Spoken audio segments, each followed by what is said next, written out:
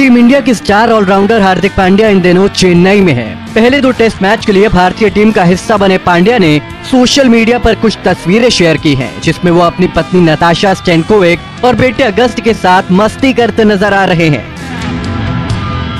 BCCI ने भारतीय खिलाड़ियों को इस सीरीज़ में अपने परिवार को साथ रखने की मंजूरी दी है। बशर्ते परिवार भी बायो सिक्योर बबल का हिस्सा रहेगा। हार्दिक अपनी पत्नी और बेटे के साथ चेन्नई में हैं और इस दौरान वो पूल पर मस्ती करते नज़र आ रहे हैं, जिसकी वीडियो उन्होंने अपने सोशल मीडिया पर शेयर की है।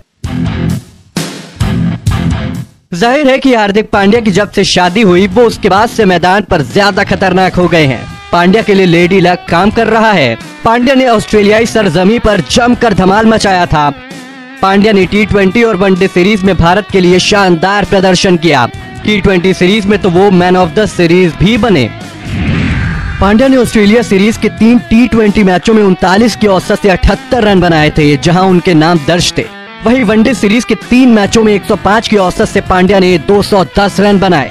पांड्या ने ऑस्ट्रेलिया में वनडे और टी दोनों सीरीज़ में भारत के लिए मैच विनर की भूमिका निभाई थी। उन्हें वहाँ एक बल्लेबाज के तौर पर मौका दिया गया था, जिसे उन्होंने भरपूर अंजाम किया। ऐसे में अब जब हार्दिक पांड्या इंग्लैंड के खिलाफ सीरीज़ से पहले इस तरह अपने मूड को रिफ्रेश कर रहे हैं, वो बेहद शानदार है, क्योंकि गेंदबाजी न करने के कारण उनका टेस्ट सीरीज़ में खेलना मुश्किल है। लेकिन जैसे ही वो वनडे और टी सीरीज़ में खेलने उतरेंगे, वहाँ वो जंप कर गदर काटेंगे। वैसे भी 12 मार्च से 20 मार्च तक टी सीरीज़ और 23 मार्च से 28 मार्च तक वनडे सीरीज़ खेली जाएगी।